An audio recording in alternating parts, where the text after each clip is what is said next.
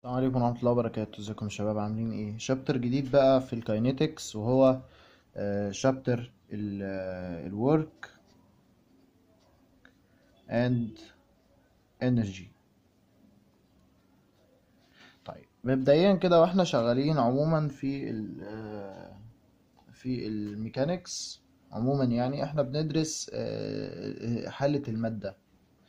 فبندرس دلوقتي الحالة بتاعة الحركة بتاعتها وحالة الثبوت يعني فاحنا لما بنيجي ندرس حالة الحركة طبعا لازم بيطلع في حاجة اسمها work work ده اللي هو الشغل المبذول عشان تنقل جسم من مكان لمكان تاني آه، بقوة معينة ثابتة أو متغيرة. فالموضوع بكل بساطة إن إحنا عندنا ال differential element بتاع ال work اللي هو ال dU ال work هو ال U بيساوي ال F vector اللي هو ال force dot ال dr vector وهنا ده كده ال work تمام؟ ودي كده ال force ال applied على الجسم ده عشان يتحرك وال r اللي هي واخدين منها شريحة معينة مسمينها dr هي عبارة عن ال position بتاعها. حلو كده؟ شريحة من ال position بمعنى إن أنا لو عندي آه، أدي كده ده curve تمام؟ وعندي هنا في آه، آه، نقطة وبدأت عندها وهنا في نقطة انتهيت عندها هسمي دي كده ال position ده دي ال origin كده فده ال position r واحد وده كده ال position r اتنين وده ال position أو أو اللي هو ال- الشريحة اللي إحنا شغالين عليها. الشريحة المفروض صغيرة بس أنا مكبرها لك عشان أنت آه، تشوف ال- الموضوع كبير شوية يعني. ده اللي هو ال dr vector حلو كده؟ فأنت ولنفترض إن في عندك هنا force F vector applied على الجسم ده. وده ال curve ده هنسميه S فدي S واحد والنقطة دي S اتنين.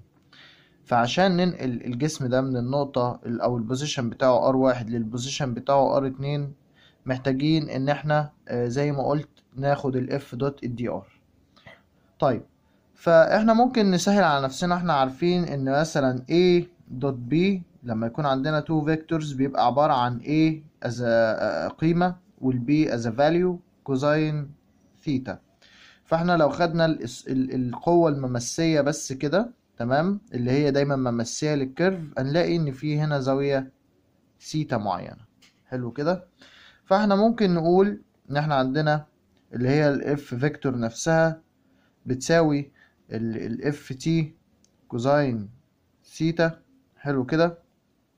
نقدر إن إحنا نكتب القانون ده بمنظر تاني وهو إن ال U عشان ننقلها من النقطة واحد للنقطة اتنين بيساوي تكامل من R واحد ل R اتنين ال F dot ال d R اللي ممكن برضو نكتبه بطريقة تانية اللي هو عبارة عن تكامل من S واحد ل S اتنين F T في ال d S F T اللي هي آه، آه، sorry المفروض العكس إن ال F T هي اللي بتساوي ال F كلها cosine ال theta.